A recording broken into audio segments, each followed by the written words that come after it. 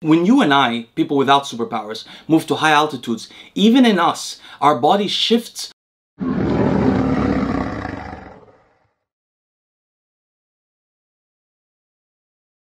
Good afternoon friends! In this video you will learn about mutant human populations.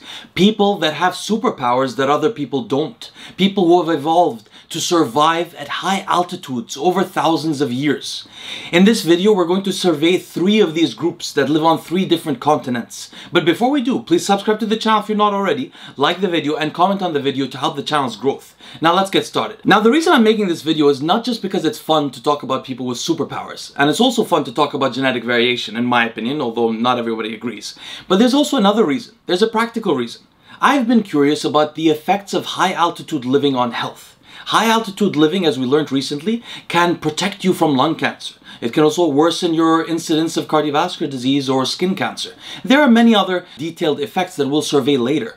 But in studying this subject, I discovered that there were people who had adapted to living in high altitudes, that didn't experience some of the health defects that others did. And I realized that if I studied their genes, I might be able to see sort of the footprint of our environmental stimulus to change in these people, not in us, of course, I don't have the superpower, but in the people who did change, you can sort of see the footprint of how the world uh, influenced them to change. And so in that way, we could sort of read into maybe what the adaptations are necessary to live better at high altitudes, to know how we wouldn't have been adapted to it and how living at high altitudes may affect our health in the long term. And I think this will also give people who are hobbyists in mountaineering or climbing or fond of high altitude living or people living in Colorado something to think about. Now let's get started. First of all, there are have been many human populations that lived at 3,000 meters above sea level.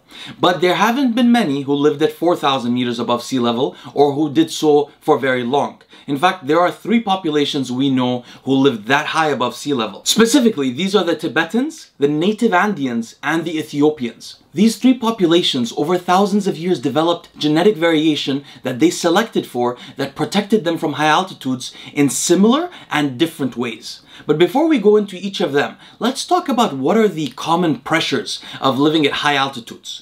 Well, first of all, there's a lot of pressure on pregnancy and childbirth. As we discovered earlier, pregnant women's health is worse at higher altitudes, and so is the health of children. They're born unusually small. They also grow slower through adolescence. So there's a lot of pressure in early life. At high altitudes, we also have worse exercise capacity. VO2 max declines by about 25% between 3,000 to 4,000 meters above sea level. We also have worse lung function, specifically due to the reduced oxygen levels called hypoxia. Hypo is a little bit and then there's the oxia from oxygen. So hypoxia means low oxygen levels. Due to hypoxia, our lungs develop something called pulmonary hypertension. Pulmonary just means in reference to the lungs. This is also called chronic mountain sickness. There's a lot of pressure on the lungs at high altitudes. And finally, there's also pressure on the heart and the cardiovascular system in general. So these stimuli that are common between high altitude living groups cause some changes in the long term to become selected for in these groups groups.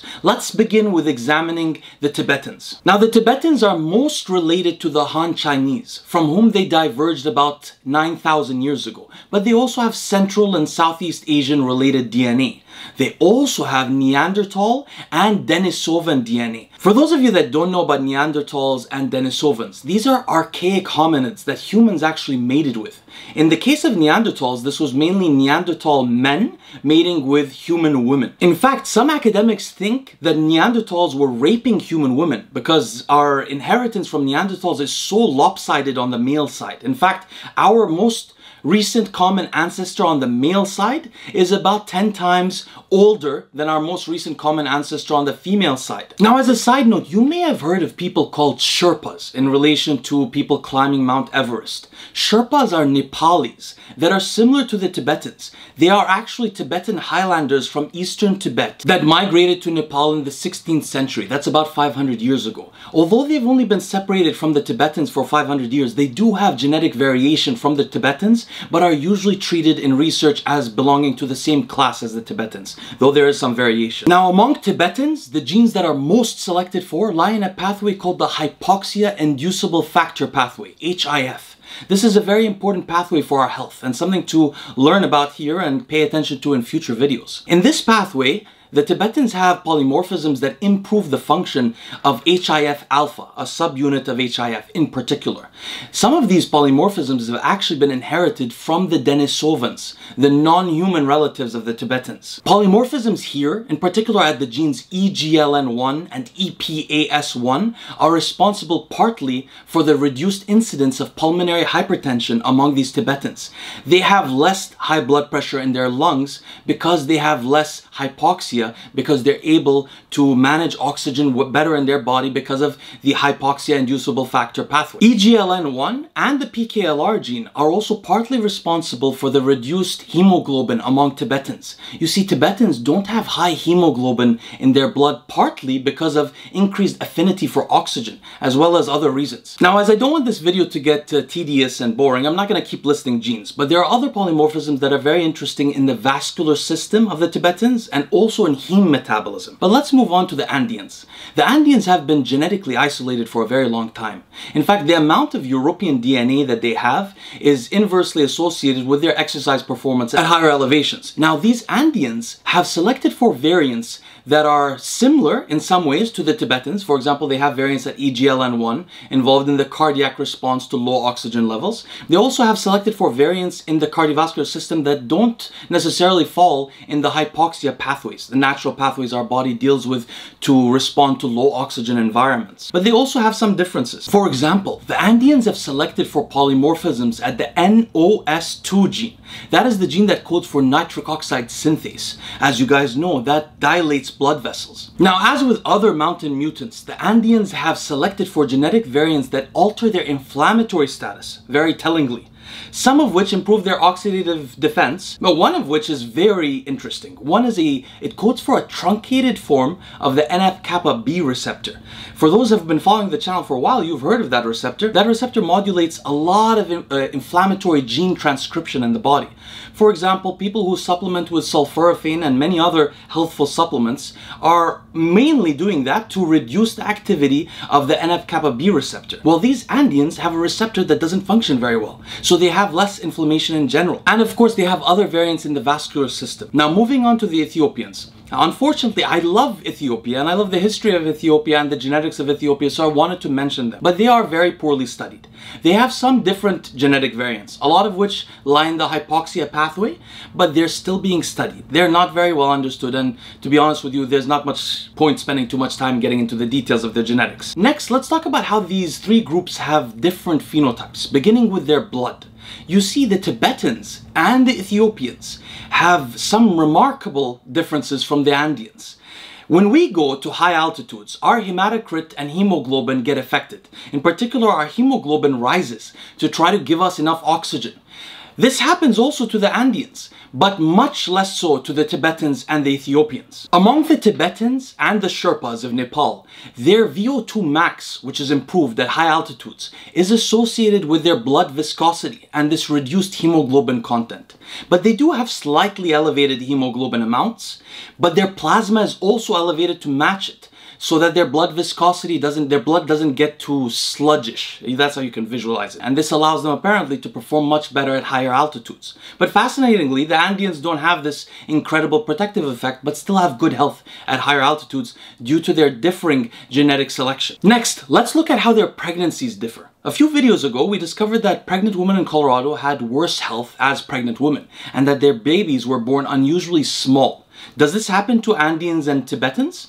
Not quite. Their babies are protected, but in different ways. Both the Andeans and Tibetans share increased uterine artery thickness. That means that essentially the blood vessel development to the uterus is more robust. But they have some differences. The Tibetans have a higher placental weight relatively to the child.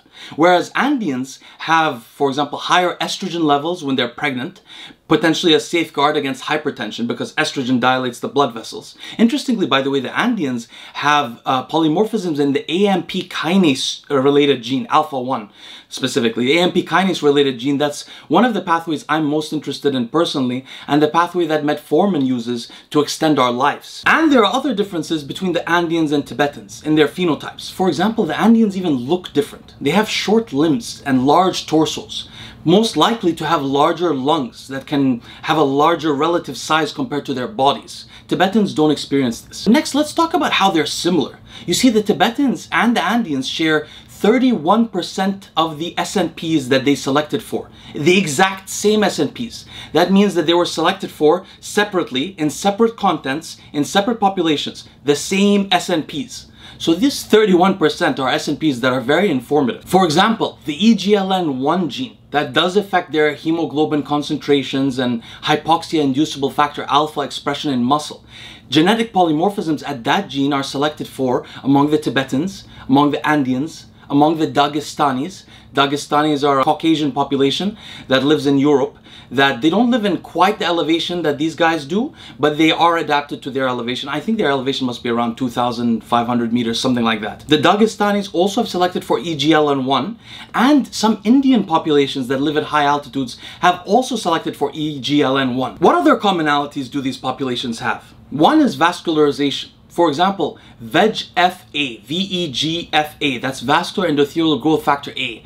The polymorphisms in that gene are selected for both in the Tibetans and in the Andeans. And in fact, when people, normal people without superpowers like me and you, go to high altitudes, we increase our expression of VEGF-A. So VEGF-A is likely very important for the adaptive responses to high altitude living. But they also both share changes in their inflammatory gene expression. For example, both the Andeans and Tibetans have polymorphisms at the IL-6 gene. That's codes for interleukin 6. Interleukin 6 is an inflammatory cytokine modulated by your immune system. It's partly responsible for inflammation in our vascular structure. In fact, when people live at high altitudes, expression of IL-6 increases and is thought to be partly responsible for cognitive decline in normal people living at high altitudes. Another commonality that these populations have is selection for genes that affect their lipid metabolism, in particular the PPAR alpha gene.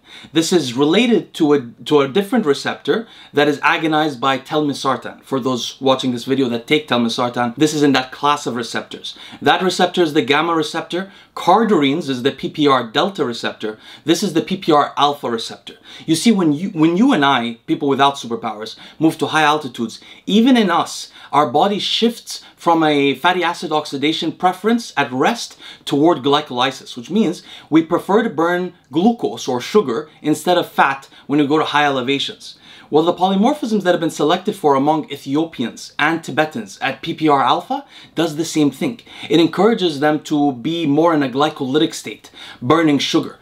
But this is not even the most fascinating part of the commonalities that they share. There's a very mysterious and curious commonality that they almost all share, which is polymorphisms in the alcohol dehydrogenase related genes. That is genes that encode for enzymes that metabolize ethanol, alcohol. The Andeans, the Ethiopians, and the Tibetans, as well as actually the Sherpas, and the Sherpas differ from the Tibetans in some of these polymorphisms, but all four of them have developed polymorphisms that improve their ability to metabolize alcohol.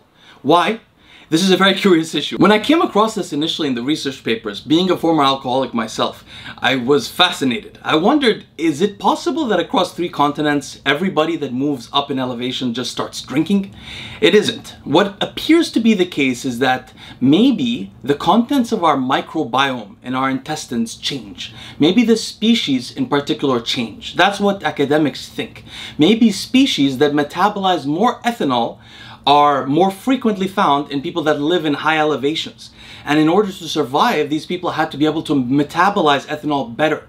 Anyway, something like that is certainly happening. It's not drinking because animals also have this preference for selecting for enzymes that degrade alcohol. All kinds of animals, like antelopes, sheep, uh, cows, even the horses that were brought to the Andean mountains about four or five hundred years ago, have already developed polymorphisms selected for among them that improve their enzymatic digestion of alcohol. So it's probably unlikely that these high altitude living people were just getting drunk up there, otherwise their animals would probably have needed to also in order to get this adaptation. Anyway guys, let's try to conclude our video with some key takeaways. First, it took thousands of years for these populations to develop the intricate adaptation to living at high altitudes, such that they don't experience the health issues that we would at high altitudes. Something for people that want to climb Everest to keep in mind. That Sherpa has different genes than you and he's going to respond to that altitude different than you. You're probably going to suffer for it later in life much more than he will. Second, these groups across three continents have converging genetic polymorphisms that developed independent of each other in the exact same genes, in the sometimes the same SNPs. But they also have differences. Some of these most startling differences can be found when you compare, for example, the Andeans and Tibetans. We can't really compare the Ethiopians fully yet because they haven't been studied so well. But when you look at the Andeans' blood compared to the Tibetans, or even their physicality, they are quite different, despite sharing 31% of the same SNPs chosen for separately. Now let's review what were these adaptations that these groups had in common. One was a change to the anatomical structure of the lungs. One was improved or altered vascular connectivity. They all exhibited genetic selection that would improve or lessen the level of inflammation that they experience at these high altitudes. They all shared polymorphisms that would alter their ability to carry oxygen in their blood, some while exhibiting lower hematocrit and some not.